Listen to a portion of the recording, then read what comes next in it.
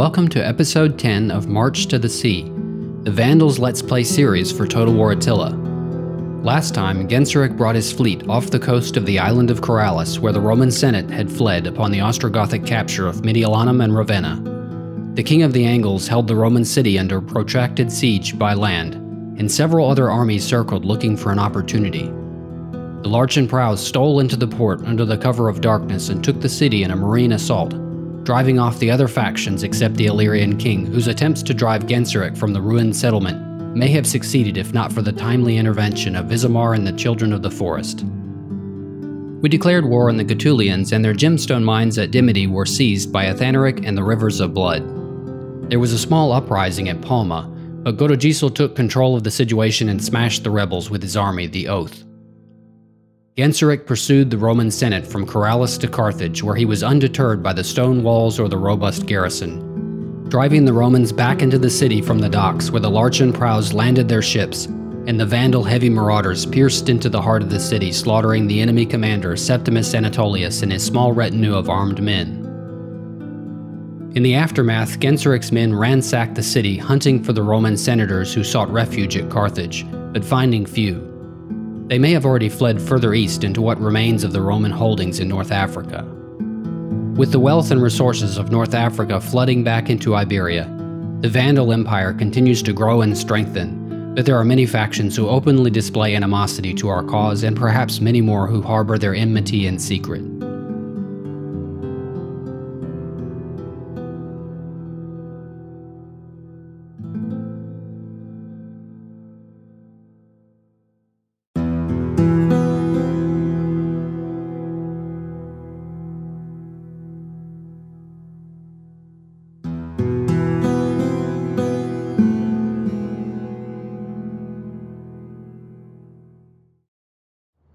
It seems I did not place my new governor, Uric, where I had intended last time. He was meant for Mauritania given his lord's special skill and the rich soil there, but unfortunately for some reason I have evidently installed him at Africa. I take steps to remedy the situation and kick him from the governorship at Africa so I can reinstall him next turn at Mauritania. I have another candidate in mind for governor of Africa. Uric is still quite inexperienced, so I don't want to throw him into the chaos at Carthage. His traits indicate he's an intelligent young man, but alas, poor Uric is a fellow of infinite jest, being not quite right in the head. I also take a moment to set him up with a household, including carrier pigeons and a bejeweled mincer. The bejeweled mincer's research bonus is so minuscule he's almost not worth it, although I don't have anything better for that household slot right now. I don't have much left in the way of funds for this turn, although my new hero unit, Everic, has enough movement left to join up with Godegisel in the Oath at Tarraco. He has a phenomenal array of positive characteristics, including charismatic, fortunate, and intelligent, being pretty much the polar opposite of the appallingly bad Cedric in every way. His only drawback is his age, which at 39 is a little older than I would like for a new character. By comparison, our very first spy, Friedebald, who has been with the tribe since 395 AD, is now only 40 years old. I move Athalaric and the Solitude from Constantina over to Carthage. From the standpoint of public order, there's no difference in garrisoning one sentiment or another in a province, and from a defense standpoint, I feel that Carthage is currently at a greater risk, being closer to the Gaetulian capital of Hadrumetum. I use what little money I have left for the turn to add level 1 weaponsmith and armorer upgrades to some of the units in the Solitude. During the end turn phase, a tiny Gaetulian force has moved back up the border between Hadrumetum and Carthage. The Illyrian king has come back from the island of Ajax, crossing over to Coralis, where he picks up where he left off raiding the region. Gunderic and Veneranda welcome another daughter of noble birth in the winter of 412 AD. Gunderic has also shown his appreciation for Godegisel finally sticking up for him, and his loyalty has increased by a point. The offices of High Judge and Warlord are now vacant, Genseric has all the prerequisites for High Judge except his age is not high enough. Visimar previously held the High Judge office, but the cantankerous old man's influence has waned. For now, I hold Genseric in reserve and nominate Gunderic for Warlord. It's also time to reinstall Uric, this time properly at Mauritania where he belongs. We've discovered a Roman agent at Leptis Magna, our old enemy Firmus Masser, Vinitha who is relatively inexperienced, attempts to deceive him and is unsuccessful. There is hope yet. Yes. Friedebald senses opportunity as a lone Gaetulian general is caught without any supporting forces between Carthage and Hadrumetum.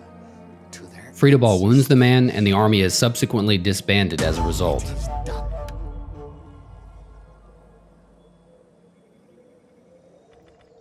I made some use of the armor at Carthage last turn, but it isn't convertible to any Vandal building, so I start tearing it down.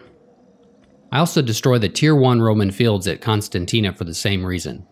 Otherwise, there's little else I can accomplish in Africa this turn. Hethan takes a moment to implement improvements to the settlement infrastructure in Galicia Ebricara, upgrading the burg to a small city. He then moves into Lusitania and starts upgrading the trade jetty to a trade wharf. At Baetica, I have a population surplus who are settled at Hispania, providing another construction slot there. I start constructing an Arian baptistry in the plot. Godegisel moves north into the settlement of Pompaelo. Genseric sails from Carthage to dock at Corrales, which frees Visimar to sweep around the Illyrian king's position at the northern end of the island, blocking his path of retreat to Ajax. I then remove Gunderic from Tarraconensis so I can reinstall him as governor of Africa. Carthago Nova remains the official capital, but Africa will become the heart of our empire, and I need Gunderic's administrative expertise and special builder skill to ultimately rebuild the province, and right now to keep it from falling to pieces. My top earning provinces remain Mauritania and Carthaginensis, although both are dwarfed by the wealth of, surprisingly, Caledonia et Hibernia, this province, however, remains occupied by the capitals of three different factions, and I suppose each have constructed very high tier buildings to maximize their wealth production. Before I end the turn, Euric institutes the Resettlement Edict at Mauritania, and I also replace my Warrior Rights Edicts at Carthaginensis and Baetica with Doctrines of Arius and Resettlement, respectively. During the intern phase, the Franks moved the bulk of their armies back from Britannia Superior to Frisia for some reason, the Illyrian fleet off the coast of Corrales is evidently intimidated by Genseric and the Larchen Prows as they back away from the island, but the Illyrian king is trapped with Visimar circling around his flank. At the dawn of 413 AD, public order has neared the breaking point in the province of Africa, and there will be a rebellion unless something is done. A new call to arms is issued, suggesting that I should raise a fleet and in return receive a small bonus to recruit experience. Unfortunately, I just raised the Whale's Way, under Indulf's command a few turns before this mission was issued. But I might be able to afford another navy before the objective expires, and if so, Indulf too could make use of the recruitment bonus.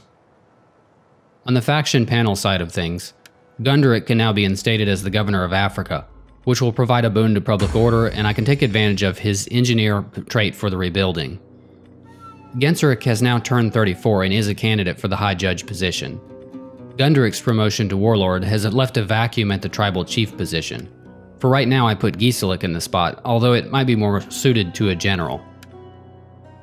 Aralieva and Scarillo have both increased in rank. I increase Aralieva's spiritual leadership and rhetoric skills, which will improve her passive local effects on public order and religion. Scarillo spends her points on both tiers of the dogma skill, which enables her to persuade foreign agents.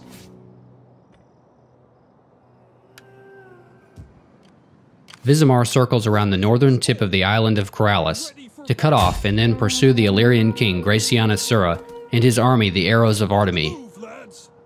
The Illyrians flee further inland,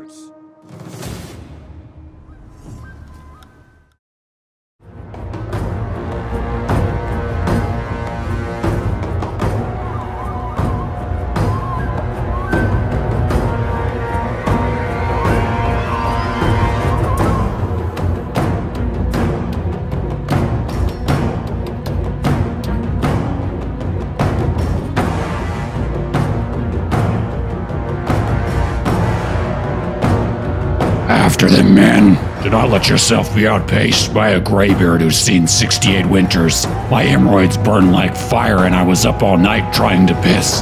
This Illyrian fool will rue the day he returned to the island of Corallus and roused Visimar from his warm bed. I let the dogs out of their cage and I can put them back. Bring him whole or in pieces. Either way, I'll butcher this puppy and feed him to my hounds.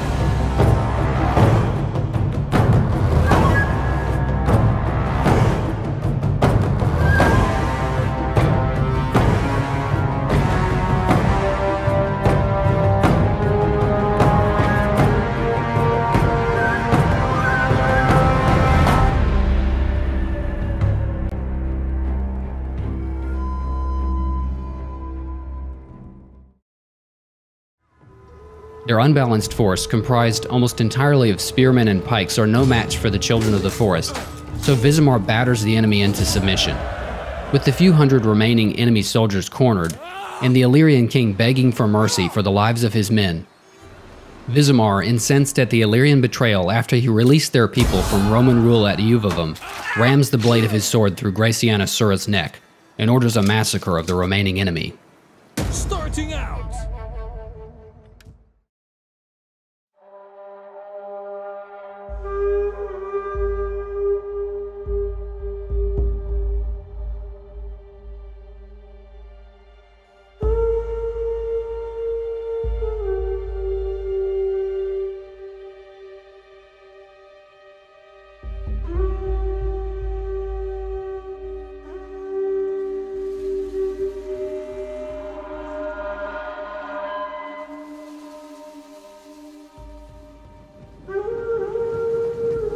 Of course I'm unhappy. We're to be colonists? What could possibly be on the other side of these mountains worth trekking through a snowstorm in the dead of winter?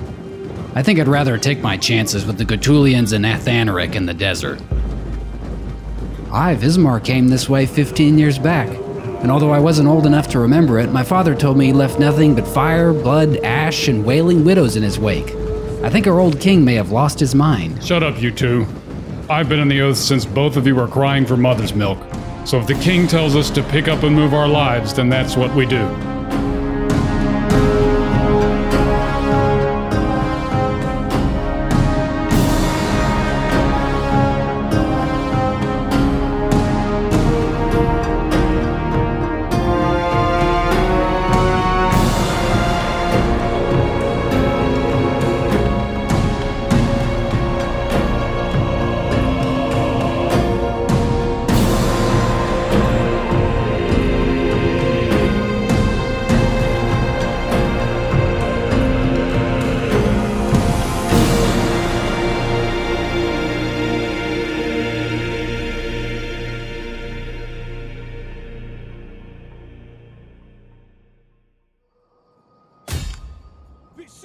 Godegisel and the Oath venture north through the passes of the Pyrenees into the fertile but uninhabited land of Burdigala in Gaul, where approximately half his force hammer their swords into plowshares and repopulate the region. The expense is massive, and I do not have the funds this turn to initiate rebuilding of the settlement infrastructure. Hethan moves once again into Mauritania, where he supervises upgrades to the agricultural capabilities of the province, including a Tier 3 livestock herd at Caesarea and Tier 3 enclosed fields at Tingis. Everic, Godegisel's prodigiously gifted champion attached to the Oath, has gained his first rank increase and levels up his training and provision skills, which will boost the experience accumulation and replenishment rate of the Oath while he's in the army.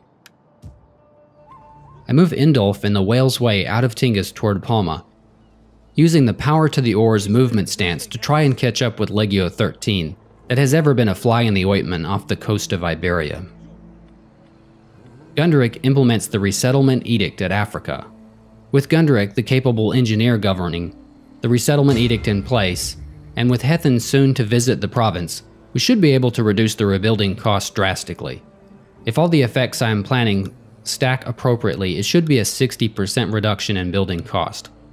Additionally, with Gunderic in power, the public order penalty is reduced almost enough to prevent outright revolt next turn, However, I have to resort to exempting the province from tax in order to bring it back to a net zero change. I had already exempted Insuli Occidentalis, but now some of their buildings are repaired and I begin taxing the province again for a modest income. I also decide to exempt Sahara from taxation, where the sole region of Dimity by itself is generating negligible wealth, in spite of the gemstone mine.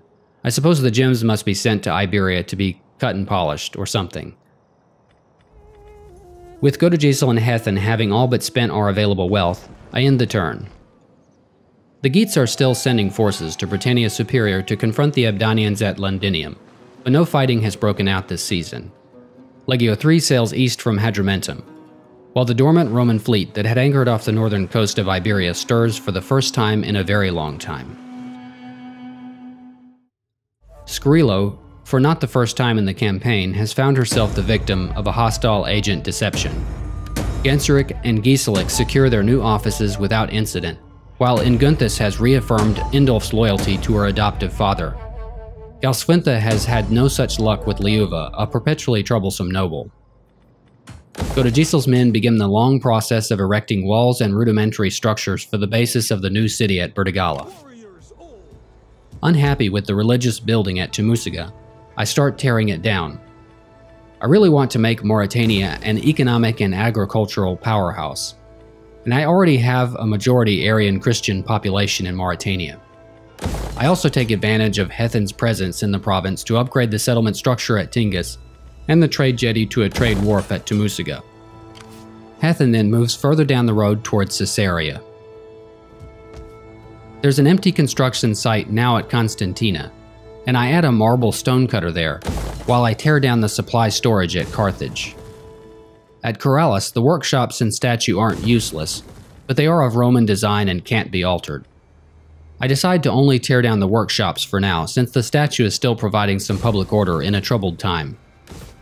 Hermenegild, the sort of sea roving hero, has ranked up, and he gets the second tier of personal combat skill, which will let him kill enemy spies with greater ease, and the glory skill, which enables him to deploy his call to arms ability in the local province. The Whale's Way stop in at Tarraco for supplies, and then launch out to sea, now in hot pursuit of Legio 13. Friedebald and Venethaharis move southeast along the coastline of Africa,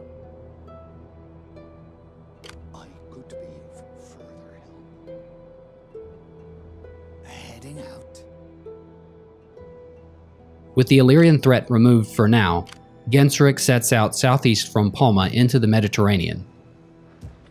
I work out a trade agreement and military access treaty with the Saxons, with the Vandals getting the better end of the deal, including a moderate lump sum payment of 1500 from the Saxons.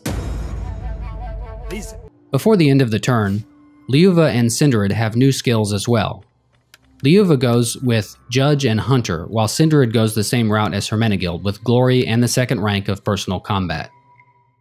During the intern phase, the Abdanians appear to handily defeat and destroy the Geat armies in the south of Britain.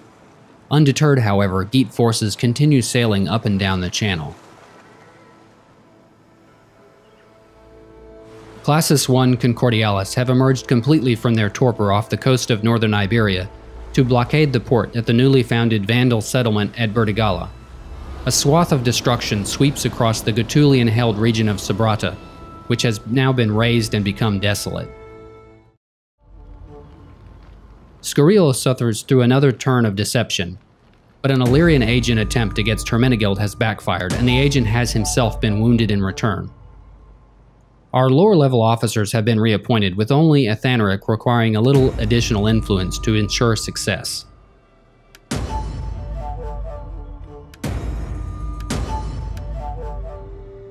Our monetary situation is in reasonable shape right now, so I decide to go ahead and take on the challenge of building a third fleet. I'd certainly like at least two to keep the Mediterranean firmly in our grasp, and one of those will be the Larchen Prows. I could send a third north to secure the coast of Gaul, near our colony at Burdigala. Of the remaining candidates, Swinthila seems the more suitable, slightly more youthful, and with an extra bit of zeal for his boarding actions. I found a new navy, the Sea Steed Masters, with Swinthila as their admiral.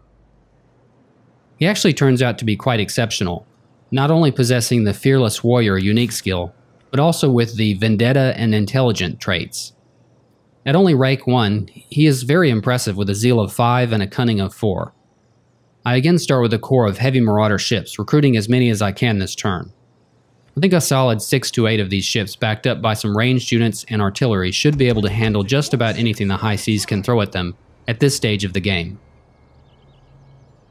Godegisel takes on the Roman blockade at Burdigala. Although our force is no match man for man for the small Roman navy, Our superior numbers should carry the day, so I go for a balanced auto-resolve. We end up sinking the whole enemy fleet, although it has been an astonishingly heavy cost, certainly much worse than I felt the balance bar indicated. Six of our units have lost more than half their men. Fortunately, we're replenishing their numbers quickly in the province, although the continual depletion of our units is negating some of the effort I put into the extra veterancy training earlier. Father be praised. Everic ranks up and adds the first two skills in the hero tree. At Mauritania, I put a farmstead in the empty site at Tumusiga. In the province of Africa, I had a town center in the empty site at Carthage.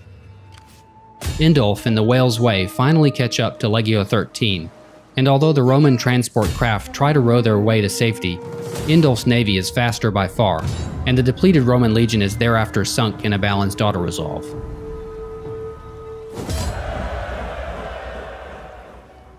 We finished our research on the Royal Household Civic Technology, and I was indecisive for a moment trying to choose our next technology split between foreign siege methods on the military tree or tolls and customs on the civic tree.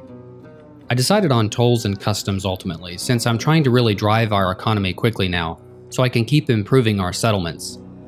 There's a blanket 5% bonus to commercial building wealth generation, and the tech enables a whole host of commercial buildings, including the slave trader, the fairground, and the amber trader. Of these, the Amber Trader is of particular interest now that we have the gems resource that is a prerequisite for its construction. It looks like Tripolitana has really seen some terrible war lately, as two of its three regions have been razed. It's possible that Italia was responsible for the desolate region to the south, as Venethaharis spots their army closing in on the last Roman stronghold at Leptis Magna, while the Gaetulians have the city under siege. Determined not to have his final triumph stolen at the end of this long road, Genseric takes his fleet to the coast off of Leptis Magna, just out of striking distance for this turn. I test the diplomatic waters with the Garamantians, since I don't necessarily feel I have to eliminate them, at least not right now, since they only control the province of Sahara, and I took Dimity only for its gems resource. Unfortunately, they don't seem to be interested in any sort of an agreement, even a non-aggression pact. Friedebald attempts to use his assassinate skill to eliminate another nascent Gaetulian army, the Bronze Warriors, but his attempt is unsuccessful. Venethaharis, however, is successful in misdirecting the Children of the Sun, the Gaetulian force besieging Leptis Magna. Venethaharis has gained a rank, and we see that not only is he sneaky and clumsy, he is also boring. Fortunately, he should still be able to function even with these negative traits. Alagern at Malaca has also gained his first rank up, and he increases his wolf and raven skills. He then takes the carrion crows north to Toledo. I've got plenty of money left to spend, but I'm gonna hold on to it for now, as I'll make some bigger expenditures next turn. The Geats are completely overrun by the Abdanian forces, relinquishing their settlement at Eboracum to Celtic control.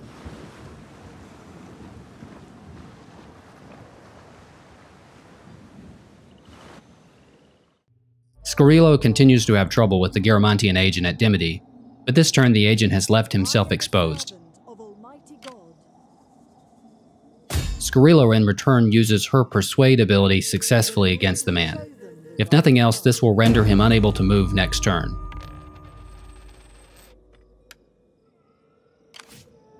Cedric then detaches himself from the rivers of blood, confronting the agent Daka and wounding him in hand-to-hand -hand combat. Champion of champions. Ethan moves into the Africa province. I'm unlikely to eliminate the conversion penalty from local culture for many turns, so I decide to go ahead and convert the village at Constantina. It's still quite costly, although with all of the cost reductions, it's now at least somewhat affordable. The city conversion at Carthage is still going to cost over 11,000, so I think I'll wait a little while before attempting this conversion. At Toledo, Alagern upgrades his troops with Tier 1 weapons and armor from the smithy.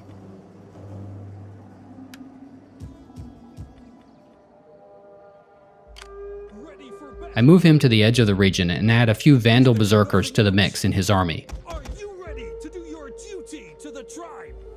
The Sea Steed Masters at Tingis keep recruiting more naval units, adding a couple of artillery ships and a couple more heavy marauders.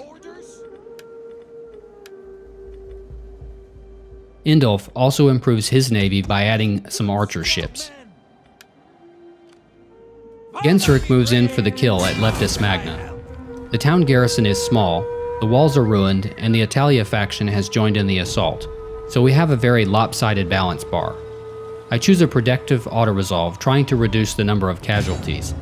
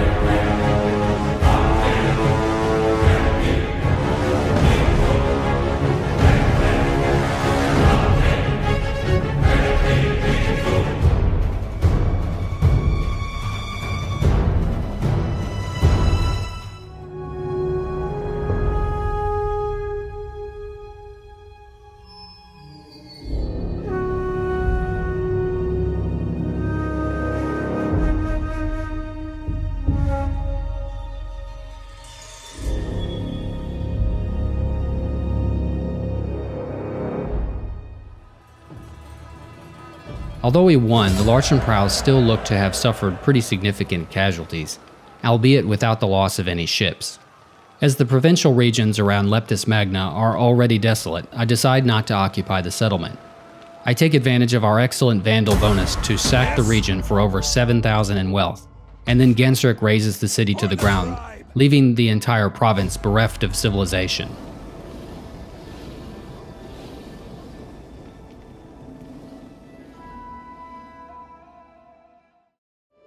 At Hadrumetum, Venethaharis successfully misdirects the Gaetulian army, the Children of the Sun. Since I'm holding off on converting Carthage, I spend some more funds in Iberia, upgrading to a goat herd at Caesar Augusta, and upgrading the well at Pompaelo. I also upgrade the small marble quarry to a full-size marble quarry. It's a little bit costly, but the upgrade will pay for itself in about 12 turns once built, not counting the trade money. Friedebald attempts to extort the Roman priest Anicius Collio at Hadrumetum, and he's successful although the enemy agent's actions are simply paralyzed for the turn. My new governor, Uric, gains a rank before the end of the turn, and I add the standard wolf and raven skills.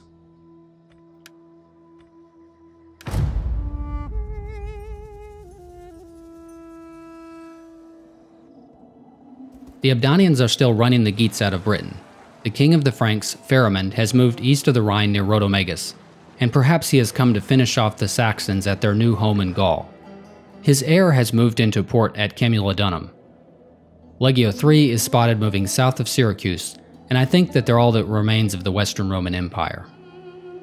The Marcomanns have gone on the offensive against one of the nomadic tribes, the Magyars. Since the Magyars have no allies and the nomads are mostly trouble, I decide to join the war. At the beginning of 414 AD, we get a war coordination mission to raid any settlement or trade route belonging to the Western Roman separatists for a reward of 1,000. They're a little ways off, but if I have the opportunity, I will try to make this happen since they are our enemy. Speaking of trade routes, I check out our shipping lanes in the Mediterranean, and we have a tremendous amount of wealth coming through the area around Carthage, probably about 3,500 in total. With piracy in the local waters, it might be worthwhile setting one of our smaller fleets on patrol in this area when they aren't busy, to recapture some of the lost wealth. Friedebald tries another extort action against Anicius Collio with a similar result as last time. Erlieva gains another rank and adds the mystery and admonition skills for the distract and compromise command actions respectively. Carthage hasn't quite finished repairing, so Hethen sets off for the island of Corallus to assist with the construction there. I'll bring him back to Carthage when he gets done. Genseric hunts down Legio III off the coast of Hadrumetum, defeating them and burning their ships. The enemy's survivors are cast overboard. With the death of the final Roman officer, Legio III's Eutropius Ocella, the Western Roman Empire has ceased to exist as a faction. Genseric still hasn't lost many ships, but with his force in such a weakened state, I need to get him back to port as soon as possible. The Larchen Prows have earned another naval tradition, and this time I give them both tiers of Dauntless Navigators, which has a significant 20% bonus to campaign movement range and makes them immune to high seas attrition. There's a small rebel army of African Roman defectors raiding near Carthage, but they're actually just over the border in the Hadrumetum region, which belongs to the Gaetulians, so I leave them alone for now. Godegisel has ventured out from Burdigala, and his men colonized the desolate region of Avaricum. I would like to capture the whole of the Aquitania province, and I also know that there's a gold mine somewhere in the region. I use a bit more of my remaining wealth to start constructing the Torp settlement at Avaricum. Fairly quickly, I've exhausted my options for the turn, but before I get into the transition to summer, Hunilla ranks up and adds the instigation and dogma skills, which in turn allow the encourage mutiny and compromise security actions against enemy armies and settlements respectively.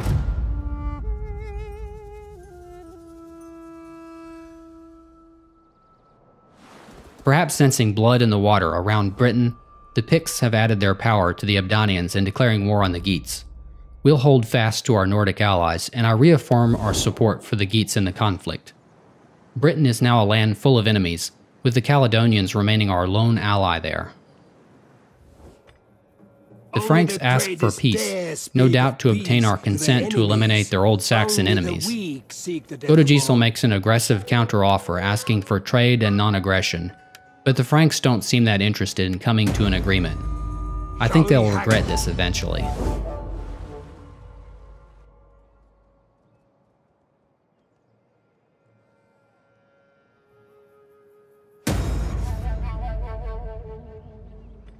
Godegisel's wife, Galspintha, has died of natural causes.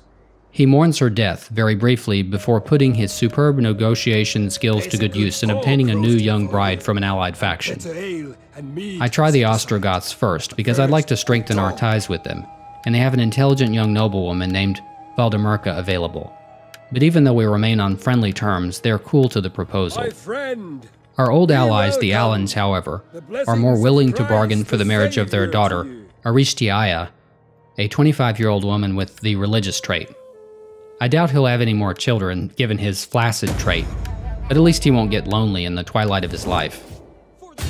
I can't quite afford to colonize Alusa this turn, so I move Aligern and the Carrion Crows up to Burdigala, where I start constructing the Tier 1 jetty. Swinthila adds some archer ships to his navy at Tingis, and Indulf adds a couple more archer ships and a pair of assault Liburnians at Palma. As predicted, Pharamond is closing in on the city of Turanum, where the Saxons have resettled after being forced from their homes at Tuliferdum by the Franks. Godegisel moves up to the border between Avaricum and Turanum, setting his army up in an ambush stance in case the Franks do move this way. Friedebald moves ashore at Caralis, and I'm just short of the needed funds to convert the settlement buildings, so I look at what else can be accomplished in the meantime. Looking at the continental map of regional fertility, we can see that the most fertile regions in our local area include Galicia and Lusitania in Iberia, Mauritania and Africa, southern Gaul and northern Italy, as well as the islands of Insulae Occidentalis. With this in mind, I start converting both of the fishing jetties and I also start upgrading the granary and the well. While I'm here, I start tearing down the statue since its public order bonus is no longer essential. Genseric and the Larchen Prows limp back into port at Carthage. Their replenishment rate for the ships here is abysmal for some reason, and I'm not exactly sure why, since it is a military port. Ethalaric has ranked up and adds the Despoiler and Fleet Commander skills, which will put him on the way to getting the War Chief skill next time. Friedebald attempts to gather intelligence on the Gaetulians, but is unsuccessful. Venethaharis moves back north through the desolate regions of Tripolitana, toward our home provinces. The Franks move up to the walls at Turanum, putting the settlement under siege. In Africa, the Gaetulian Children of the Sun eliminate the rebels in the north of their region of Hadrumetum, and then cross over the border to the west along the road to Dimity. The Garamantian inspector harassing Scarillo has now harmed himself in the process, so we should not have to worry about him for a turn or two. Godegisel's ambush was unsuccessful, but he's still more than capable of driving the attacking Franks back from the walls at Turanum. Pharamond's army, the Wild Hunters, retreat into the forest of the northern part of the region. I don't have the movement points to pursue the Franks this turn, as the Oath have exhausted themselves in crossing the river that runs across the southern border of the region. However, Everic has increased in rank, already up to 4 now, and is able to acquire the Glory and Tactics skills. The battered fleet of the Larchen Prows is not replenishing nearly quickly enough at Carthage, but I could build new ships with the military port there. And as a matter of fact, the new units will actually be recruited at higher veterancy thanks to the bonuses currently in place. So Genseric merges his units and scuttles the craft which are in the worst shape. I start replacing some of the disbanded units, starting with the heavy marauders. At Insulae Occidentalis, with Hethen ashore, I spend a fair amount of my surplus income starting to work on the conversion of the settlement building at Palma. I also demolish the Capitol building and the infantry grounds and convert to trade jetties at Caralis, although I don't have enough wealth remaining to work on the settlement building there.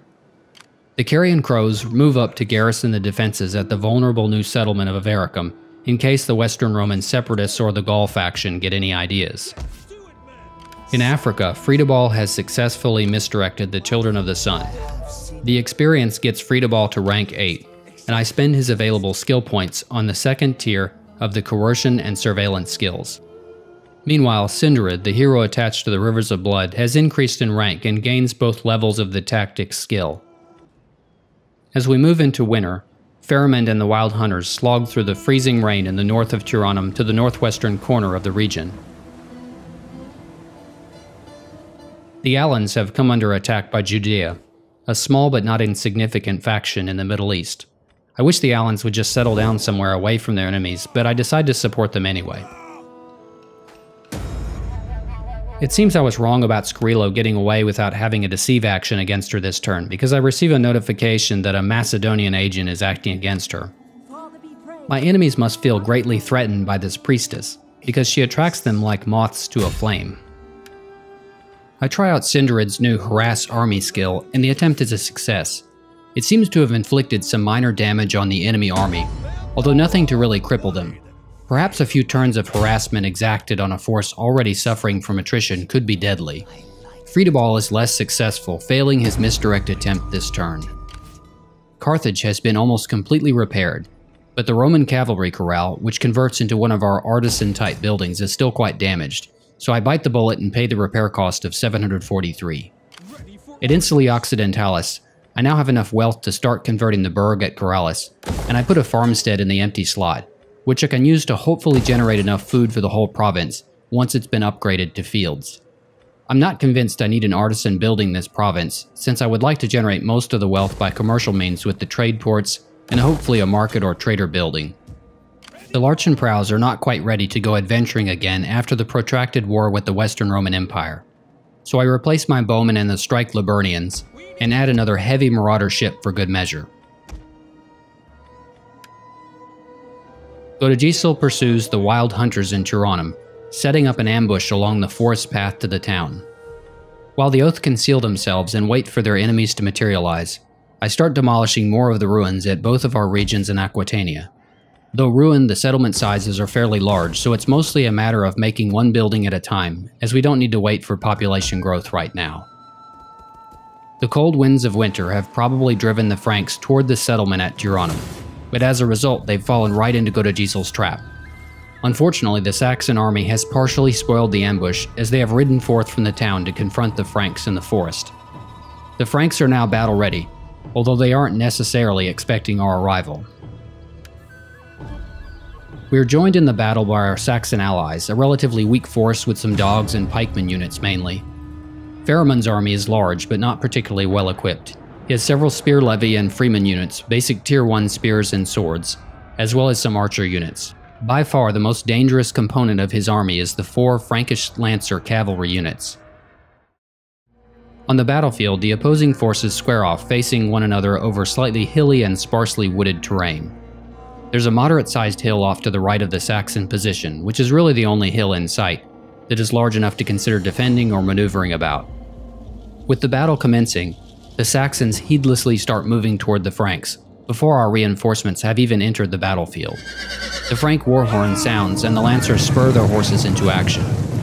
Our men begin trickling onto the battlefield, led by Godegisel and the Germanic spears, and followed closely by our berserkers and other units. I send our men rushing to the aid of the Saxons, although at the pace of their advance, we may not arrive until it's too late. I order the spears to form a front line at the base of the small hill on the right, backed up by the rest of our infantry. The cavalry and the dogs swing around toward the enemy's left flank. Our Germanic horsemen move up to support the Saxon general, although he's in deep trouble already. He's engaged a Germanic levy unit on the right, and his infantry are quickly being overwhelmed in front of him. I charge in the horsemen to give the Saxon leader some breathing room. A unit of Frankish cavalry and a single unit of their spear levy have moved up to engage our line of spearmen who are in spear wall formation. They abruptly turn about and start moving away from the threatening wall bristling with spears. However, this has brought them in range of the Germanic hunters, who begin unleashing volleys of flaming arrows at the lancers.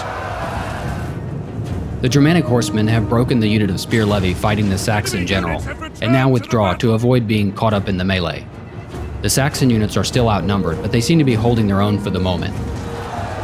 The single unit of lancers attacking our army has evidently had enough of the harassing arrows of our Germanic hunters, and they charge into the spearmen, their battle rage overcoming their sense of self-preservation.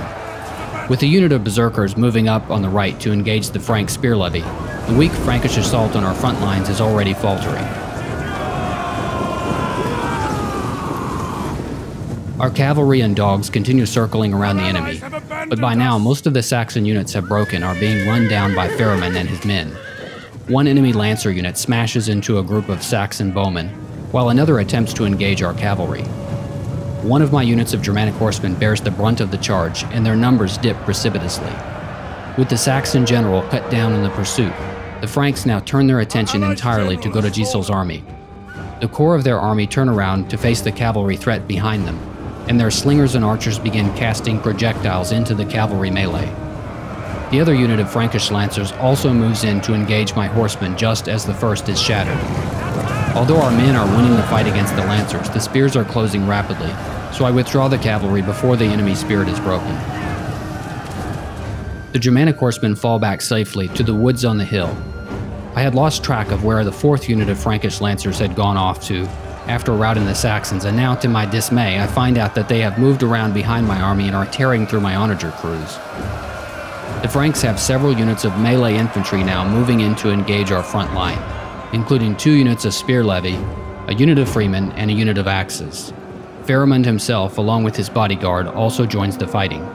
Godegisel and a unit of berserkers move in to countercharge Pharamond, while I move one of my spear units back to drive off the enemy cavalry wreaking havoc among my artillery. The Frank and Vandal archers trade fire, the sky bristling with arrow shafts arcing over the low hill. My horsemen have been pursued by the unit of Frankish lancers, and they split up, one unit withdrawing to draw the lancers in, and the other two moving to the side to smash into their flanks. Although a large part of the enemy force is holding strong in their center away from the main fighting, the berserkers have broken the spear levy on our right flank. There is a unit of freemen who are barely clinging to their morale, and the Franks' axe warband unit is also wavering. Pharamond is about to be behind enemy lines and surrounded. The Sarmatian spears move in from the left side, unleashing their dogs into the freemen who have fled the fighting on the front line. And the result is devastating, almost instantaneously demolishing the unit's morale and permanently shattering them. Likewise, the Frank Axe Warband unit has also been shattered by our berserkers, and both of the remaining units of lancers have been broken.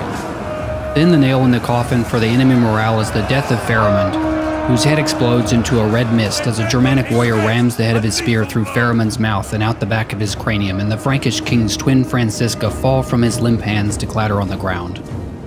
The Vandal king roars his approval, and the army surges forward to engage what remains of the Franks a few units of archers and slingers, and a couple of relatively weak sword and spear infantry regiments. The berserkers crash into the second wave of the enemy, while the Sarmatian spears pursue a unit of slingers on the left flank. As my cavalry swing around to the right side, the enemy see their escape being cut off, and their discipline dissolves into abject terror as their units break and flee the battlefield. I spend the last few minutes of the battle mopping up the fleeing enemy, mostly with war dogs and horsemen.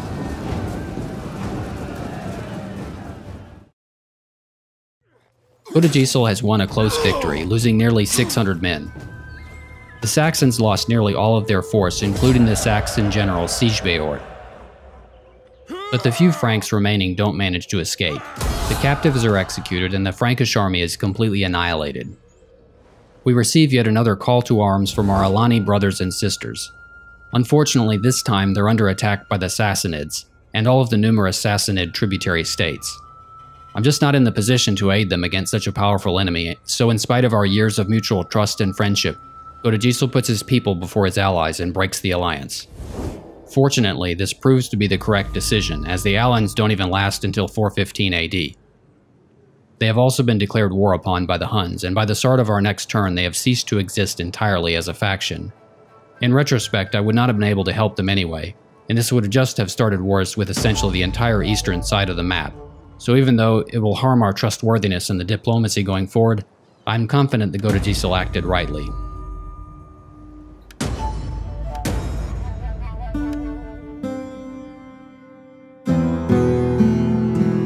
We've made great strides in this episode, eradicating the Western Roman Empire once and for all, pressing the fight against the Gaetulians in northern Africa, progressively rebuilding Carthage and colonizing the desolate regions of Aquitania. Visimar visited his revenge on the Illyrian king Gracianus Sura in the forests of Corallus. Godegisel's old foe Pharamond betrayed our trust by fracturing our military coalition and driving the Saxons out of their home in Tulliferdum. And now he's been dealt with savagely. However, the Franks are strong and they have several more armies and a number of provinces under their control. The Ebdanians have our allies, the Geats, on their heels. We'll have to see if our other alliances and our shaky but lucrative truce with the Goths and the Eastern Roman Empire will continue in the harsh world of 5th century AD. Thanks for watching and join me again next time for another episode of March to the Sea.